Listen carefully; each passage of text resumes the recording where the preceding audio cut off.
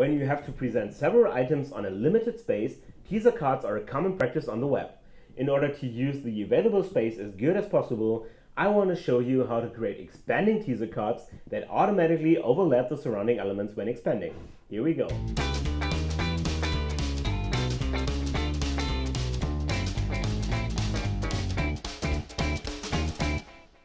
It is always tough to find the right balance between showing as many items as possible against providing enough details for each item.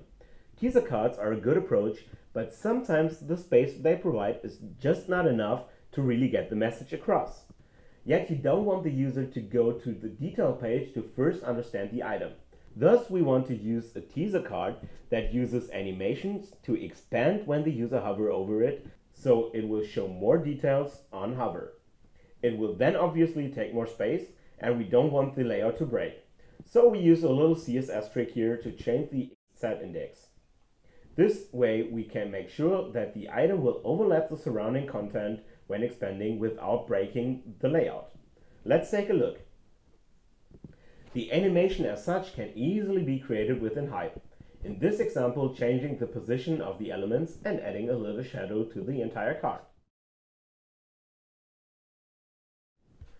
Now we can add a little custom code on the timeline to change the Z index with JavaScript.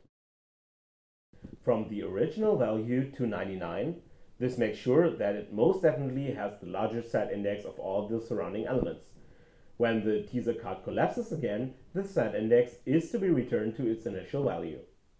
And that's pretty much it. It's really as simple as that. Of course you can use this kind of trick for other use cases as well, for example, expanding banners and so on.